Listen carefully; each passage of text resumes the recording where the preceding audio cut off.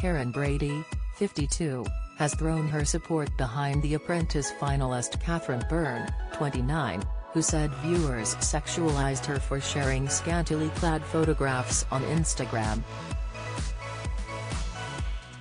Kathryn, who came second to Harpreet Kaur in Thursday's tense finale, said she is allowed to be glamorous and a successful businesswoman at the same time.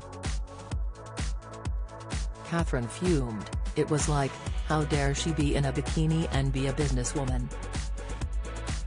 People were saying that because we wore bikinis, our business plans must be ST. But I'm allowed to do that as well as work hard and own a business.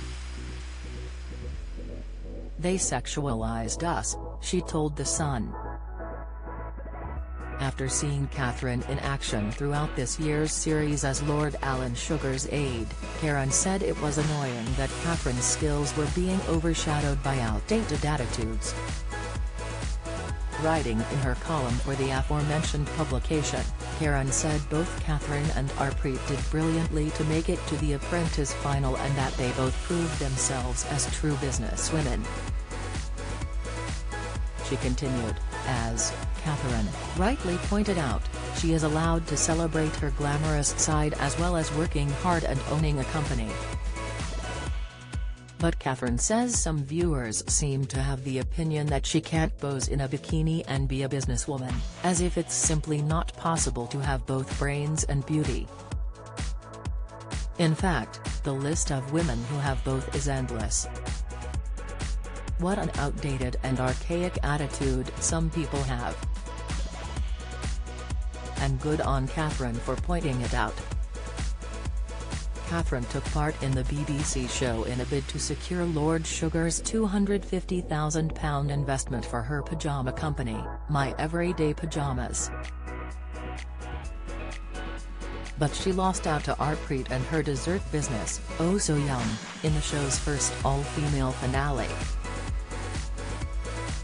In a new interview with Express. Co.uk, Karren hailed the women as remarkable.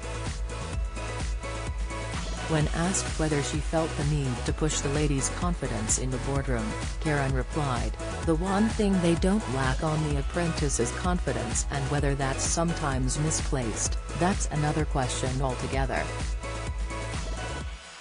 I think the women on The Apprentice this year have done remarkable and are doing very well. Karren joined the show in 2009 as a replacement for Margaret Mountford. She has sat alongside tough interviewer Claude Littner as well as former winner Tim Campbell when Claude was unable to take part after a cycling injury. The business magnate opened up about the relationship she has with her colleagues behind the scenes. She said, It's a great show to be part of and we all get on really well. You know, in lots of television shows people don't get on particularly well and, in our house, we get on very well, we're very supportive of each other's companies.